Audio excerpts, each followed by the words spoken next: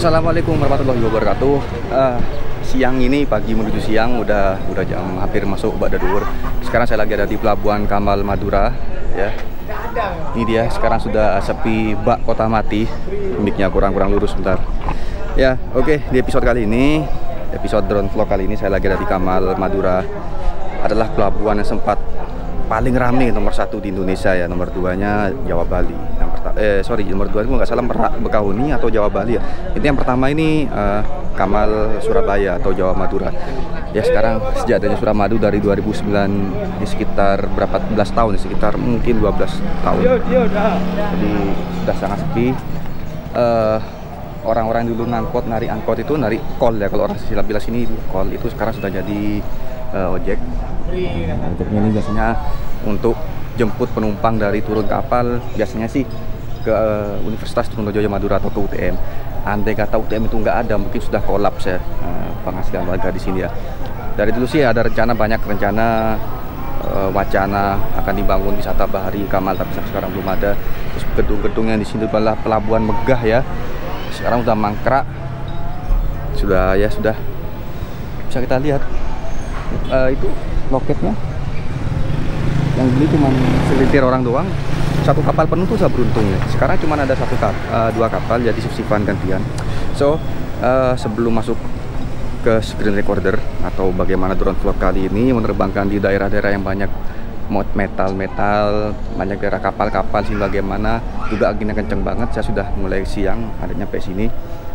Jadi sebelum masuk ke screen recorder kita jangan lupa di subscribe dulu di sini. Dan kita bumper dulu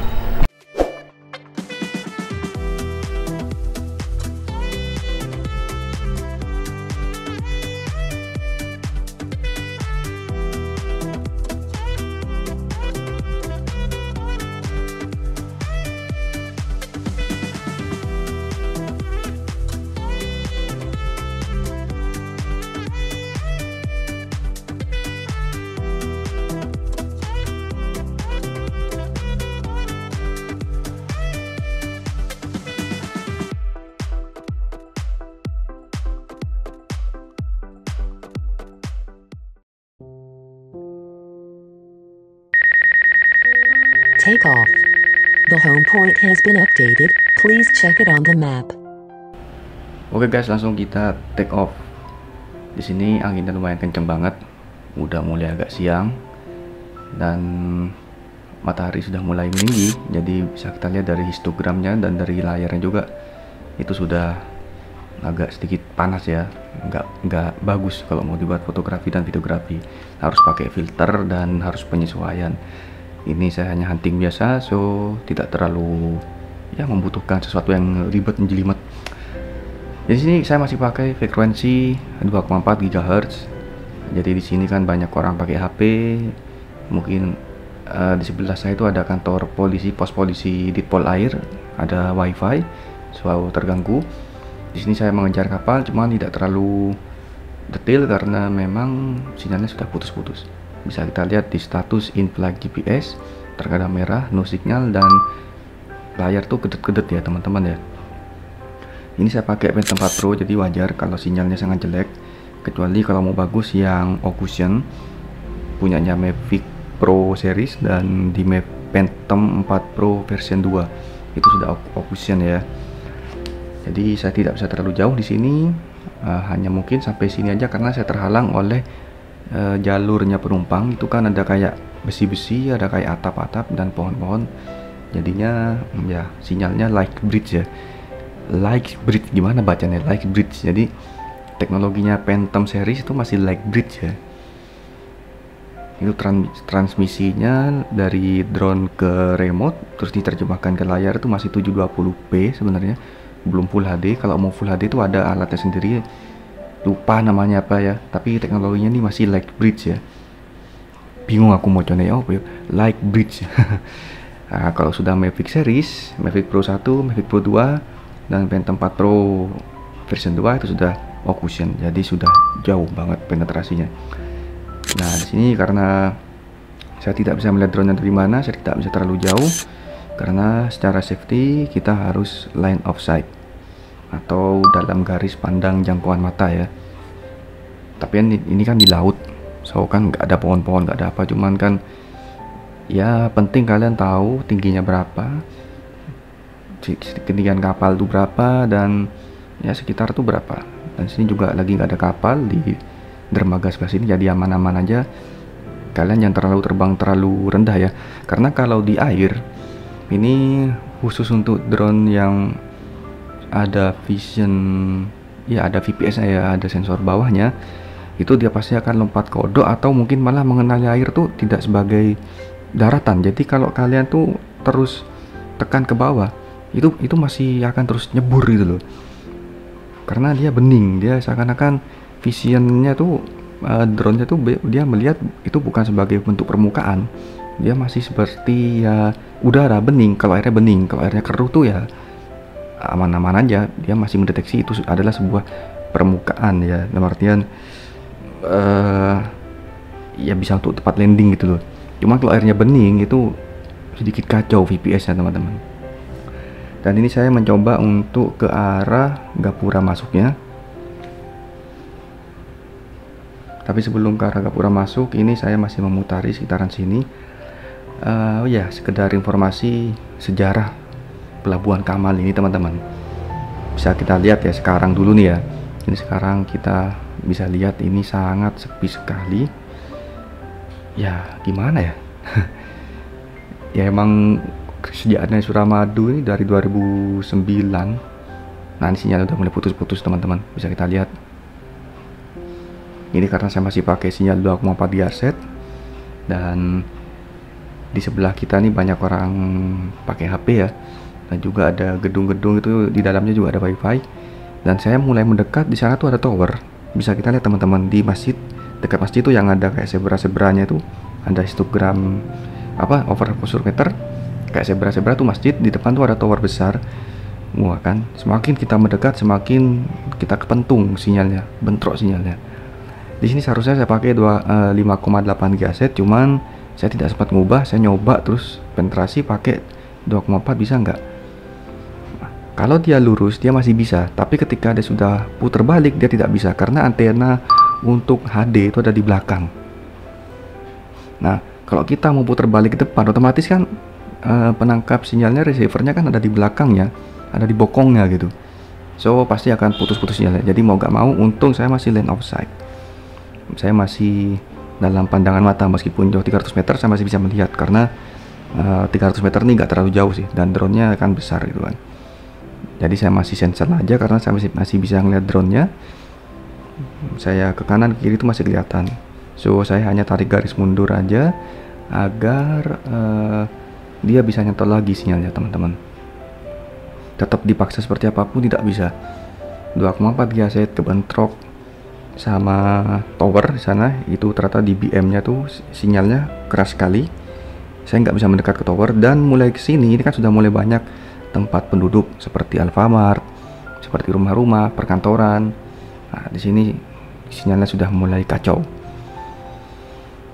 Ya Phantom 4 mas meskipun embel-embel pro itu masih like bridge teknologinya memang bukan untuk long range dia hanya untuk kerja yang ya di sekitar sekitar itu aja. Kalau mau long range ya di daerah pedesaan. Ini nggak bisa saya berusaha untuk putar-putar drone-nya. Saya masih kelihatan drone-nya kok. Aman andai kata saya nggak melihat drone ya, ya sudah saya pasrah. Langsung RTH saja. Nah di sinilah kalian perlunya ngeset RTH itu benar ketinggian terus juga RTH nya hover landing atau return to home. Nah kalau kalian set RTH landing kan jatuh di sana kalian mendarat di sana. Kalau kalian set hover kan sampai sinyalnya putus pun dia akan nggak akan pulang karena dia kan diam di tempat. Makanya kita set return to home biar dia bisa pulang di sini saya menyerah ternyata saya otak atik bagaimanapun saya pindah geser ke kanan ke kiri pun tetap dia tidak bisa penetrasi sinyalnya dia tetap kalah sinyalnya 24 GHz sama perumahan perkampungan sekitar dan ada tower besar di situ. So saya putuskan untuk balik pulang dan ganti baterai sekalian eh, sekalian ganti sinyal ya. Kenapa saya ganti baterai? Ini baterainya kan masih banyak kan. Masih lumayan banget. Cuman masalahnya ini panas, teman-teman.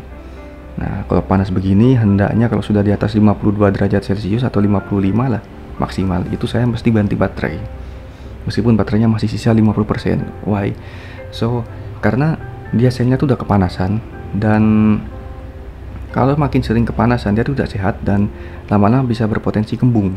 Bahkan potensi untuk kembung tuh ya besar sekali sekitar 70% nah jadi baiknya ganti baterai dan apa namanya tuh ya udah. Tinggal ganti baterai aja. Cuman di sini saya ternyata masih masih seneng. Wah ternyata mumpung lagi tingginya sekian posisinya pas ngambil foto aja dulu deh sama ngambil video tanggung. Nanti turunnya ntar lagi aja. Jadi intinya saran buat kalian ya tips buat baterainya biar gak kembung itu jangan sampai melebihi dari 55 derajat celcius ya. Bahkan ada beberapa teman itu ya 53 derajat 50 derajat celcius itu sudah turun ganti baterai dan terbang lagi seperti itu. Nah, nanti kan sisa baterainya kan masih ada. Dinginkan dulu nanti kita pakai lagi gitu. Jadi bukan 50% tuh nggak dipakai lagi nggak. Cuma dinginkan doang habis itu oper baterai. Di baterai kedua selesai ganti oper baterai yang sudah dingin tadi. Seperti itu kira-kira teman-teman. Nah, pelabuhan Kamal ini sejarahnya ini ya ini adalah pelabuhan paling ramai nomor satu di Indonesia. Bayangkan kenapa kok bisa begitu? Karena orang Madura itu kan kebanyakan merantau. So mereka ya dari Sumeneb ujung sana. Bukan dari Sumeneb aja teman-teman. Dari pulauan dari kepulauan Kangean terus dari kepulauan Sapudi Raas Masa Lembu yang 12 jam 14 jam dari Sumeneb itu ya. Ya mereka kalau merantau ke Jawa ya ke sini gitu Surabaya.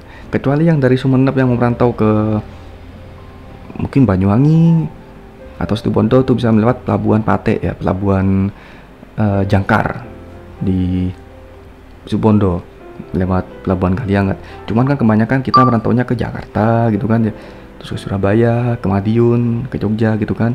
Ke Bali ya sebagian orang-orang di kepulauan Sapudi itu banyak yang yang merantau ke Bali jual-jualan cindera mata jadi ini memang adalah pintu utama 97% orang Madura keluar Madura untuk ya merantau. Apalagi kalau udah lebaran dulu ya waduh berkilo-kilo antrinya men. Pelabuhan itu men sampai kapal ini ya. Banyak armada tambahan sampai kapal itu gak sampai merapat ke, ke pelabuhan. Jadi kapalnya tuh kayak jembatan.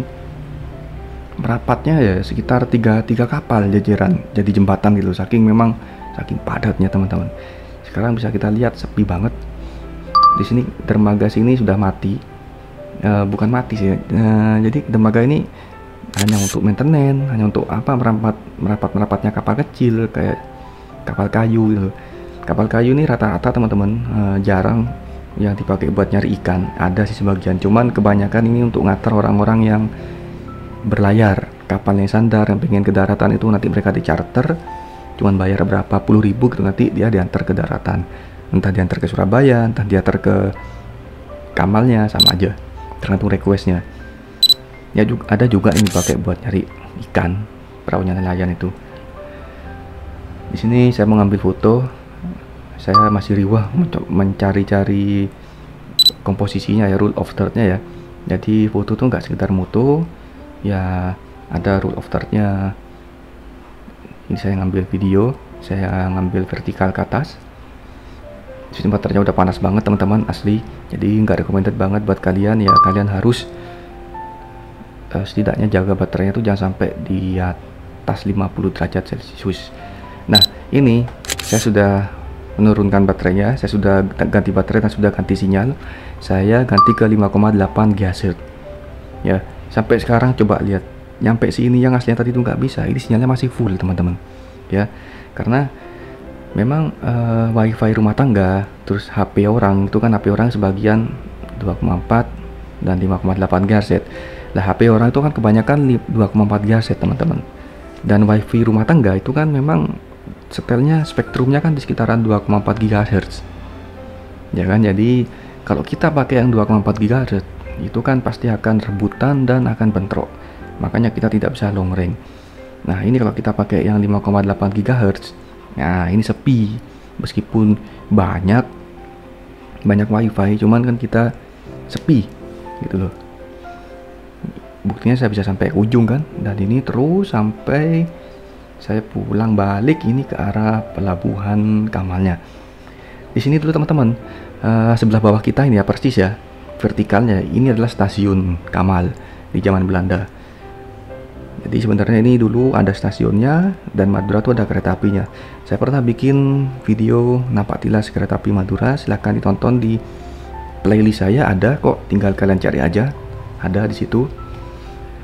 Kapal-kapal ini antri ya, antri yang mau masuk ke pelabuhan Tanjung Perak, yang di mana ya antri memang ada yang dari China, ada yang dari Korea, banyak luar negeri. Karena di Surabaya kan sudah internasional. Cuman kapasitas gross tonnage kapalnya itu tidak sebesar di Jakarta ya karena Jakarta tuh pelabuhan induknya di Indonesia ya. Di sini saya masih mencari-cari foto, mencari angle yang pas, komposisi yang pas. Tapi ini bingung komposisinya ya apa ya. Ya wis lah kita lihat-lihat dulu. Sebelah kanan kita ini baru galangan kapal, izinnya ada, aman ya. Nah, itu dia. Sekarang kita mundur untuk take off. Sesuai dengan saran saya sebelumnya kalau kita mau landing sorry landing bukan take off ya. Kalau kita mau landing arahkan drone ke depan. Jangan menghadap kita. Agar safety dan tidak kita berpotensi disorientasi arah yang mengakibatkan drone-nya nabrak. Oke sekian. Nah oke okay guys. Sudah selesai terbangnya. So jadi jangan lupa saya selalu membawa kipas portable kecil ini sangat membantu. Karena ya posisi baterai itu kan panas nanti akan berakibat kembung. Jangan langsung dimasukin ke dalam tas. Juga kalau khusus on body phantom phantom 3 phantom 4 sama phantom 4 juga phantom 4 pro semuanya sama. So dia jangan langsung dimasukkan bodinya beda kayak Mavic. Mavic itu jarang sekali ada retak rambut tapi kalau phantom ini pasti akan retak rambutnya di sebelah sini teman-teman. Sekitaran sini motor ya sama di arm sini ya di sekitaran sini ya entah depan entah belakang sama aja Nah mungkin itu aja dari saya. Salam dari Pelabuhan Kamal Madura. Insya Allah next saya akan ngedronin di Tanjung Peraknya. Karena Tanjung Perak itu agak sedikit strict ya, agak sedikit harus ada izin kalau kita sudah menuju ke arah navigasinya yang sebelah ke northway atau sebelah sana itu ya. Oke, aduh, salam dari Kamal Madura. Assalamualaikum warahmatullahi wabarakatuh. Semoga pelabuhan ini kembali hidup ekonominya ya. Kalau uh, kehidupan lalu lalu lalangnya itu mungkin mustahil ya karena orang lebih milih Suramadu karena lebih gratis dan lebih murah. So semoga ekonomi orang di sini kembali bangkit. Amin ya rabbal alamin.